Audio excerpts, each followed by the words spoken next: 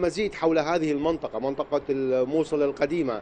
آه، معي آه، ضيفي رئيس بلدية الموصل المهندس آه، عبد الستار الحبو رئيس بلدية الموصل. هو معي لأستفسر حول بعض النقاط وبعض الأمور عن هذه المنطقة. أستاذ عبد الستار ممكن تتكلم لنا أو تحكي لنا عن منطقة الموصل القديمة مساحتها طبيعتها جغرافيتها الأحياء التي تحتويها هذه المنطقة؟ نعم مساء الخير. تعتبر مدينة الموصل القديمة هي المنطقة الحيوية وهي إرث وهوية آه، مدينة الموصل ومحافظة نينوى. هذه جزء من المدينة آه، بحدود 25 كيلومتر مربع.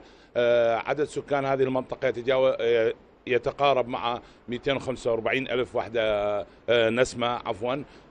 تعتبر آه، هذه آه، البقعة من مدينة الموصل هي الهوية الرئيسية لمدينة الموصل بما تتكلمه من لهجة موصلية تقترب من آه، شمال آه، منطقة الشام.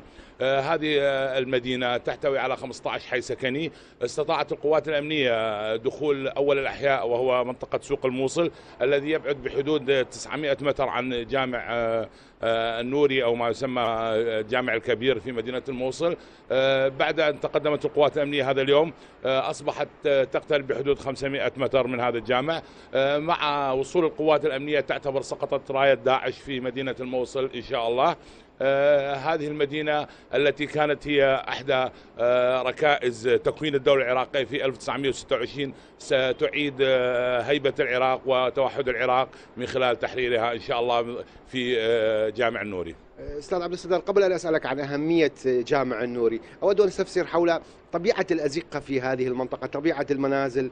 آه، كيف يعني من خلالها نستخلص كيف سيكون شكل المعركة في هذه المنطقة؟ آه، طبعا من آه، تكون المعركة في هذه المنطقة آه، عفوا معركة معقدة. آه، كون الأحياء السكنية متقاربة تعتبر مدينة الموصل الم- القديمة هي آه، الجزء الثالث آه، فوق الأرض لمدينة قديمة امتدت عبر مئات السنين. طبعا آه، عملية حركة الآليات والعجلات العسكرية مستحيلة في هذه المنطقة كون أرض الأزقة لا يتجاوز متر ونصف إلى مترين في آه، آه، أفضل ال- الحالات.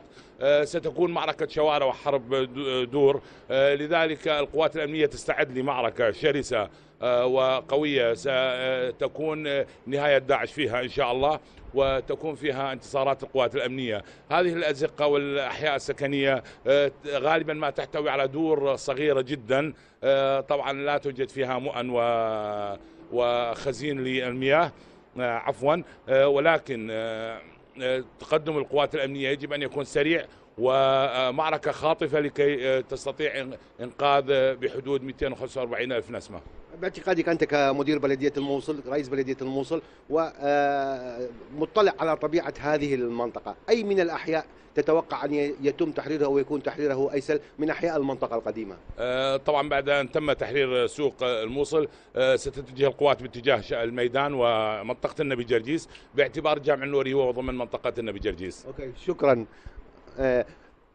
شكرا شكرا أستاذ عبد الستار على هذه المعلومات آه، نعم هذا مجمل ما يخص الوضع الأمني في مدينة الموصل وما يخص المدينة القديمة التي من المنتظر خلال الأيام نعم. القادمة أن تشهد معارك آه، حاسمة في هذا في معركة الموصل تحديدا